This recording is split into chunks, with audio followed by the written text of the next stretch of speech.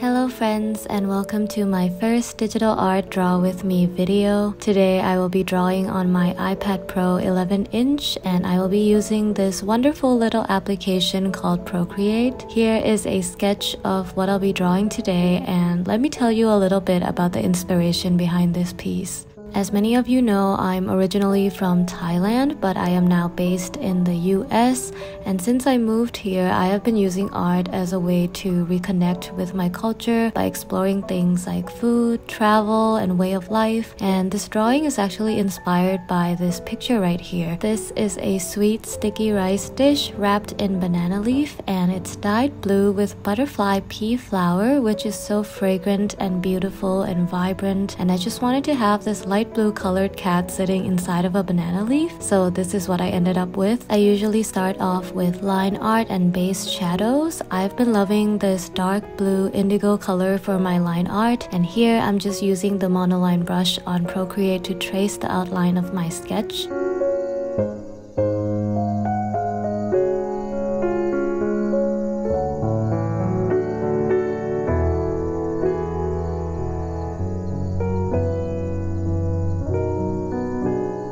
While we're here, I also wanted to answer some Q&A questions that friends have left for me on Instagram. We're adding a little bit of a podcast moment to this draw with me video, so let's start with the very first question. How did you start drawing? I've always loved drawing. Art was one of my favorite subjects in school and I took a lot of art classes. I remember in high school you were required to take at least one art class for 3 credits in order to graduate, and I must have taken like 8 or 9 classes because it was one of my favorite subjects. I had a phase where I was super into drawing real life comics, so I would illustrate my school friends, what we did, and the conversations we had at lunchtime and stuff like that. I think it was a way for me to preserve the memories that we shared, and that's why art has always been so important to me. I especially love trying to get my friends' hairstyles and facial expressions right. I guess I never paid much attention to body language, which is why I'm terrible at drawing full body people nowadays. But yeah, that's how I started back in elementary school, and I've been drawing ever since. So once I'm done with the line art, I like to go in with the details and add some shadows with the same indigo color that I've been using. Here I'm adding shadows to the parts where I expect to be the darkest, like underneath the cat or in the folds of the banana leaves. The banana leaves that we use for cooking are usually foraged and stored for quite some time, so they tend to have these dark spots on them which I wanted to add into my drawing as well.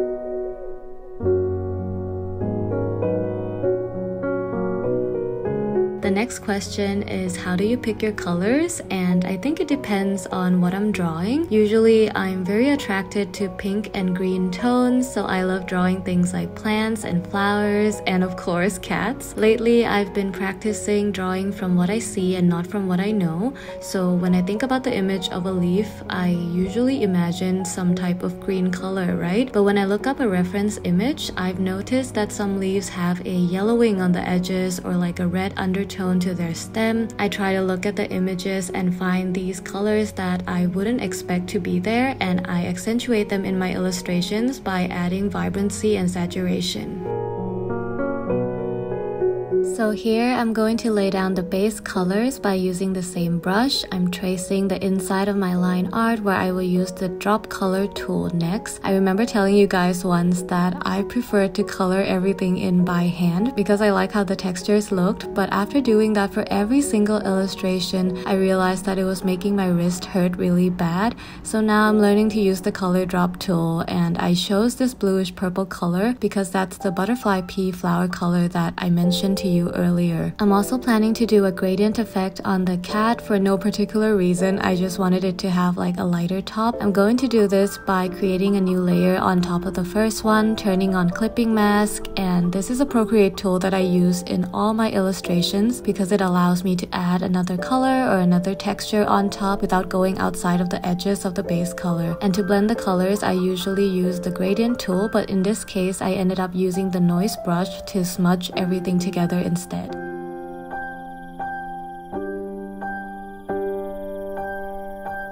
A lot of people asked me about my favorite Procreate brushes. So for line art, my all-time favorite brushes are 6B pencil, dry ink, monoline, and tinderbox. For coloring, I like flat brush and Nikko Rull, which are both paint brushes. Nikko Rull is a new favorite and I think the porous texture of the brush is super cool. Other brushes that I use for texture are the noise brush, artist crayon, and oil pastel. These are all brushes that come with Procreate, but I also have favorites that I from other artists. My favorite packs are the Vivi Brush Pack, especially the watercolor brushes, and Beat Tones, which is where I get my halftone texture from.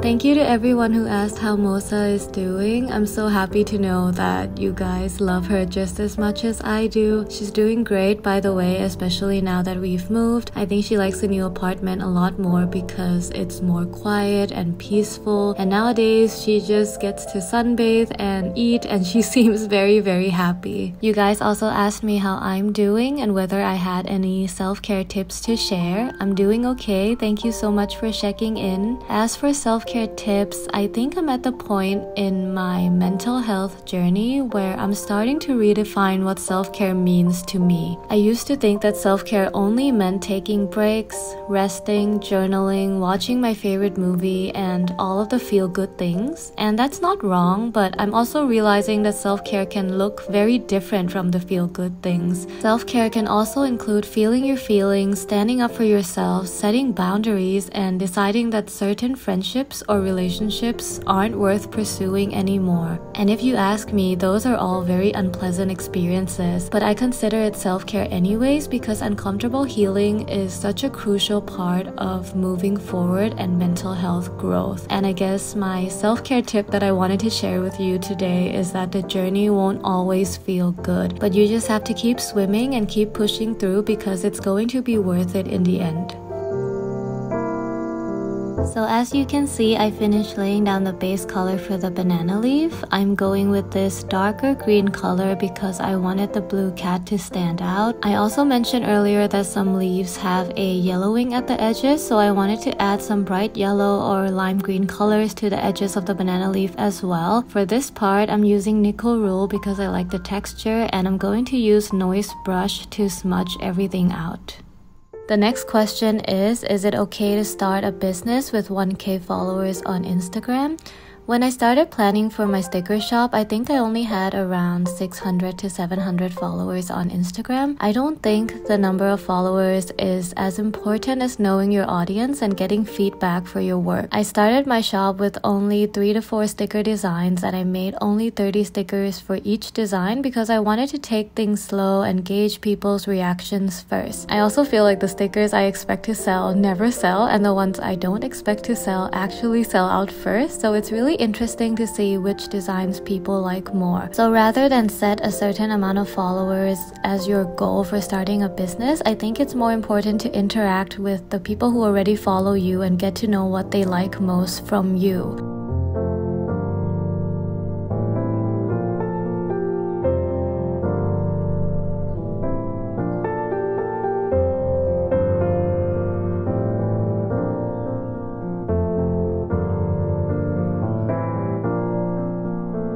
Really have a reference picture for this part, so I'm just going with my imagination. But here you can see me adding smaller dots all around the leaf for more texture. And I'm also going to add some complementary reds just to give the drawing a little bit more warmth. I feel like with blue and green, it's a lot of cool tones and I just wanted to balance it out.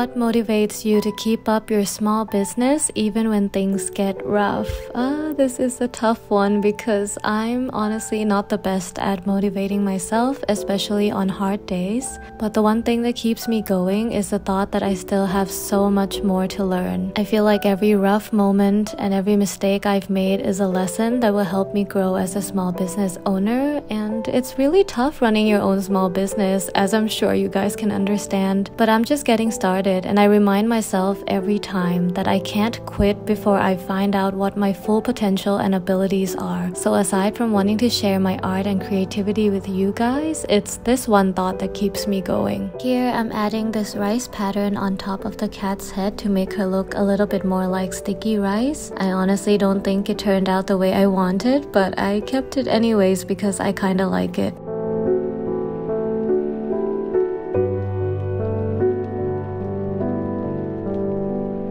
Like this next question a lot, and I think you guys can guess the answer too. If you could draw one thing for the rest of your life, what would it be and why? Probably cats, because I love drawing cats and they just come in so many different shapes and colors and poses. Like the one I'm drawing in this video, for example, this was inspired by a pose that Mosa was doing while she was grooming herself. I think cat friends are the best friends, and drawing them just always puts me in a good mood. So, yeah, cats.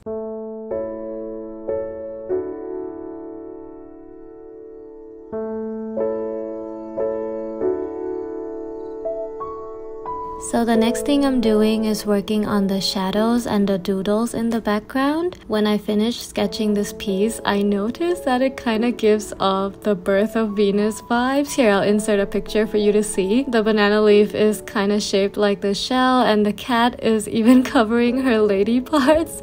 So I think that's super funny and I really like the flowers in the birth of Venus. So I decided to doodle some flowers in the background of my drawing too.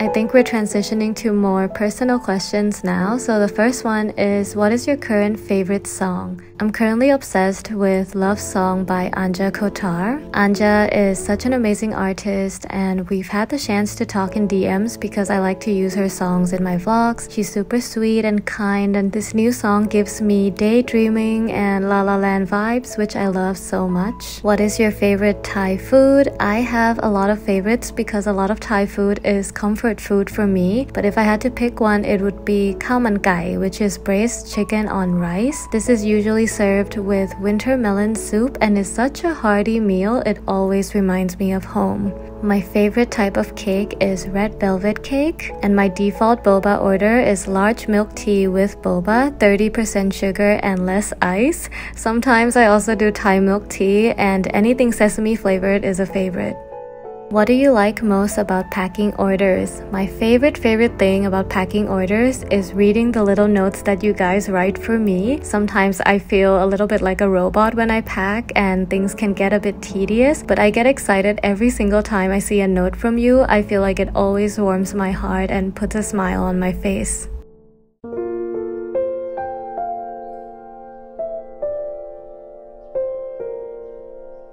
As you can see here, I spend a lot of time adjusting colors and hues because I never feel like my work is good enough yet. I also forgot to do a lot of details in this one because drawing on camera really made me anxious. But anyways, the last thing I like to do is to add the noise effect on everything. I usually do 5 to 7% for the colors and around 15% for the line art. I just really like the fuzzy texture that it gives. And we're all done. Thank you so much for stopping by to watch me draw today I had a lot of fun filming and editing this and I'll try to do more draw with me's in the future for sure. Thank you to everyone who left me kind and encouraging messages in the Q&A. I will see you all next Wednesday. Lots of love. Bye.